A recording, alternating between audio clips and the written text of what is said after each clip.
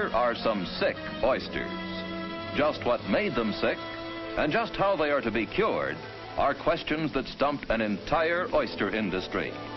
The trouble started down in Louisiana on the Gulf of Mexico, where the Louisiana oyster fishermen claimed that oil production was killing off the local oyster population.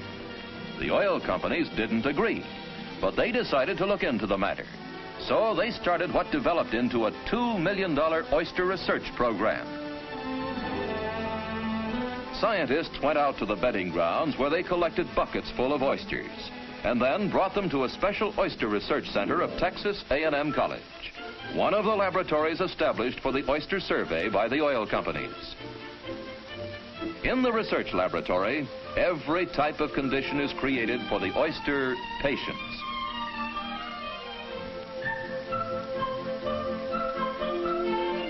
A blanket of crude oil is poured directly on the water.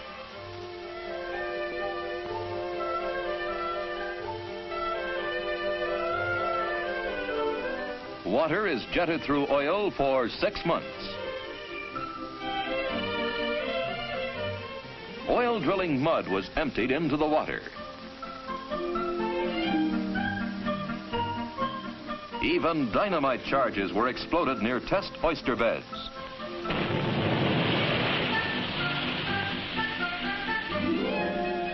Every possibility was explored.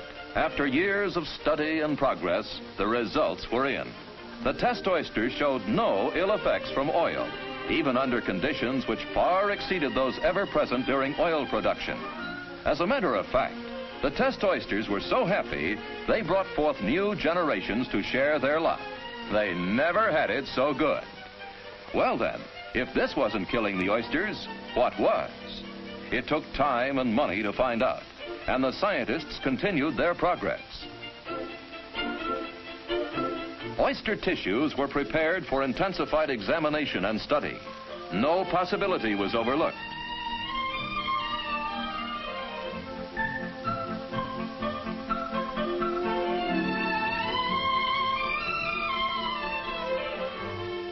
Finally, the real enemies are isolated.